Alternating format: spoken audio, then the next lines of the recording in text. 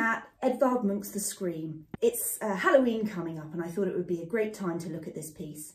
It's so overused, but actually there's something quite ghoulish, menacing and sort of intense about it which always draws us back. There are so many unusual facts about this piece. For example, The Scream is not the name that Munch gave it in the first place.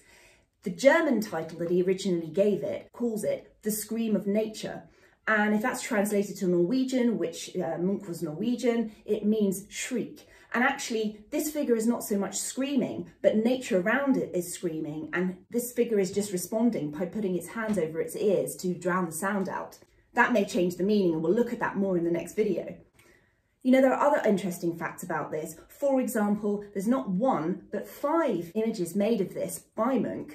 He produced two paintings, two drawings and a lithograph, all between the years of 1893, which this was made in, the first one, and 1910. Spanning, you know, 17 years is a long time to keep producing a similar drawing. At the time, his sister was in an asylum not too far away from this exact location, which has been pinpointed in Norway.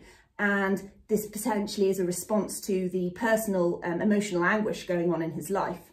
If only Munch had not listened to his anti-establishment nihilistic friend who encouraged him to paint in this style and to show his emotions through his painting, that we would never have any of this work in the first place because he would have carried on in a life in maths and physics.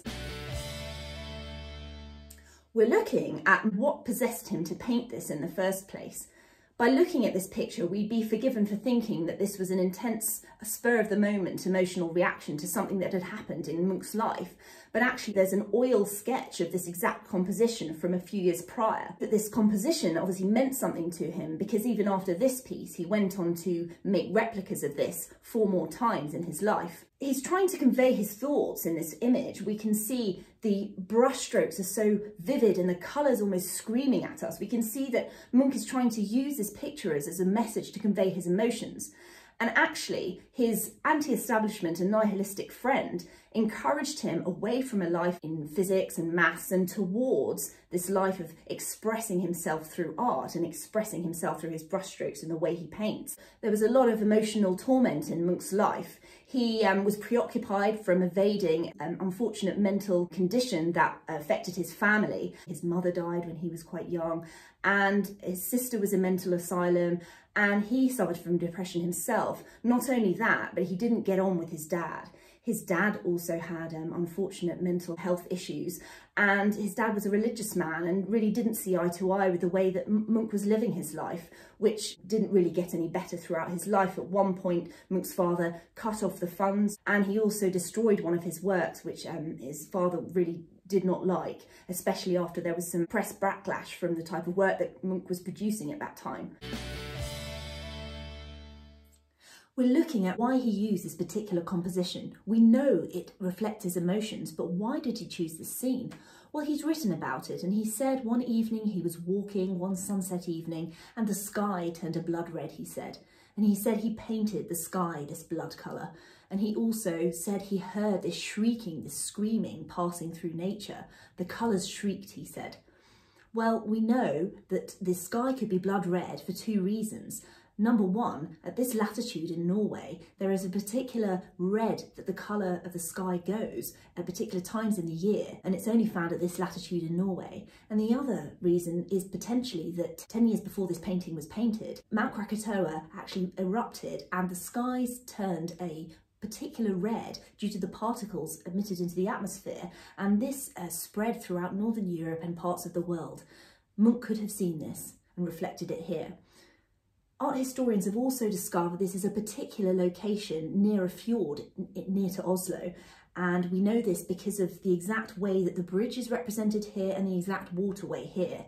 This point, this vantage point must have meant a lot to Munch because we know he walked past there and felt this emotion.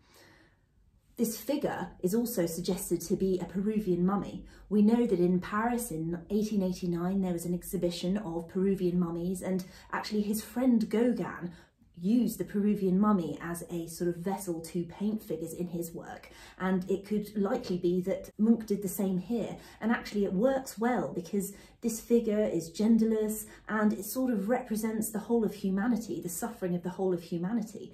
um, we, we notice that it's genderless and actually it, it has no tells or, or particular identity um, and it really resonates with all of us. We're looking at what the critics thought at the time. Posthumously, it's received a load of success. The two paintings have been stolen, suggesting its value, and one of the drawings has sold for the fourth most amount of money at public auction. But Munch's relationship with the press, the media and the public was not always this rosy. At the start of his artistic career, he experimented with the impressionistic styles and he developed a style a bit like Manet, and the press widely panned this. Munch's father didn't help and he was a critic too, and he actually cut off Munch's funds to help fund his art life. He also destroyed one of his works, which was likely a nude, going against his viewpoints, but it didn't also help that one of Munch's uncles was a really successful, established traditional artist. Munch's father, though, he died in 1889, and this was a real pivotal moment, a real step change in Munch's artistic life. He started spending more time in Paris and he was influenced by the post-impressionists and other artists, the symbolists who were there. And Munch developed a more distinctive style. He had a nervous breakdown in 1908 and he stopped binge drinking and he really changed his outlook, both personally and artistically, to a more positive outlook and the positive output of art.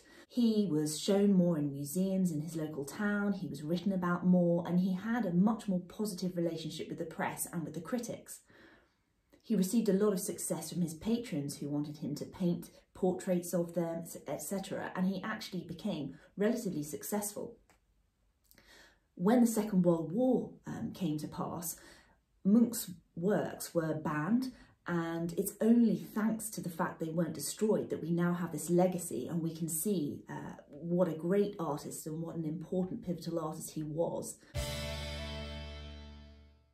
We're looking at the materials and the style that Munch employed in his piece here, The Scream. We know this is a planned composition, it's not a one-off. There are five versions of it, spanning over 17 years. Two paintings, two drawings, one lithograph, and a bunch of prints. We know that the two paintings have been stolen. I mean, it just shows the, the reverence placed on these two works that they've been stolen. One of the drawings fetched the fourth most amount of money at public auction at $120 million. I mean, that says something about the reverence that is placed upon this, this suite of works. The style here that Munch employed was the same in, in every piece. He used these swirling brushstrokes, these vortex, this intense perspective, the intense shrieking colours, as he called them. He flip-flopped between a more realist style and a more expressive style. And, mean, here it's unmistakable. We can see these swirling brushstrokes. We can see this intense um, perspective used to draw our eye to this figure and we can see it's very unsettling and uneasy and it's all enhanced to do just what it says, make us have an emotional response. And this is really the key of his expressive, his synthesis style. He did actually have a change in his artistic style again when he had a breakdown and he had a more positive outlook on, on life and on his creative output. It made him increasingly popular as well. We're looking at the artistic movements that influenced him to paint this. It's first worth noting that his sister and his father influenced him in their own ways to create this. First of all, his sister, because she was his muse for a couple of his works. She was in a mental asylum when he painted this. Upon her death, Munch painted a piece that was known or coined as his first soul painting in inverted commas. She really was his muse in a lot of his paintings and artwork. His father also encouraged him to paint this in insofar as Munch's friend was this nihilistic, anti-establishment guy who encouraged him to paint in this expressive style, much to the aggravation of Munch's father, who was a pious man and went against his beliefs. And in a way, because of his fractured relationship with his son Munch, it encouraged Munch to paint Munch also spent a lot of time in Paris after his father's death and, you know, he was involved at the time with the Impressionists and the Post-Impressionists. Munch found the Impressionists a bit too simplistic and a bit too much like a scientific experiment with their colour juxtapositions, etc. And he felt himself much more akin with uh, the Post-Impressionists and the Symbolists who really used objects as vessels to express what they wanted to.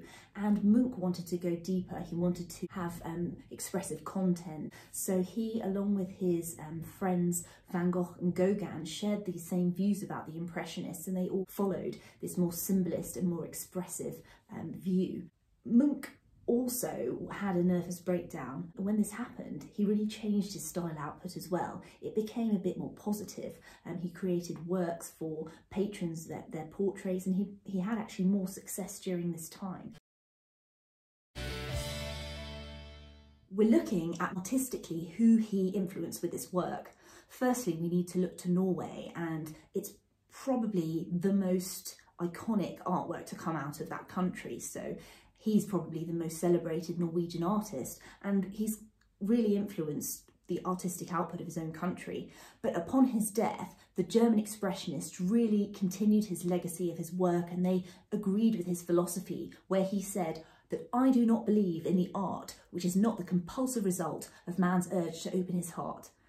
So the German expressionists did a lot when he died to continue his style of work or his, his artistic ethos. More recently, in the pop art movement, Andy Warhol produced a silkscreen painting of this image and he wanted to desacralize this image I mean, so much reverence is placed on it. It's fetched so much money at auction. You know, it's so revered. It's so iconic that Andy Warhol merely sought to sort of devalue the, the image. Of course, he's never going to devalue in literal terms the original um, painting and the original works by Munch, but that notion was there. He was putting social commentary on this piece. Also more recently in 2013 the Norwegian Mint made a celebratory coin or commemorative coin using this artwork on one side of the coin to uh, commemorate the 150th anniversary of, of Munch's birth in Hollywood. Now they have really been influenced in a couple of ways especially with this piece of work. If we think of Home Alone when Kevin McAllister is left home alone at Christmas. There's an iconic image of Kevin clasping his hands to his cheeks in a shocked view, like this image here. Halloween-led film The Scream has used this shocked look, their ghoulish sort of expressions for that film. And this work even has its own emoji. And there's only one of two works which has its own emoji. Um, I've not found the emoji yet, and I'm looking forward to finding it when I do. But the other picture which has an emoji is the Wave by Hokusai. It is so iconic and it is the subject of our next mini-series. I hope you like this video. If you do, tune in next series. Please subscribe to our page. Please like this video and please share with your friends. Thank you.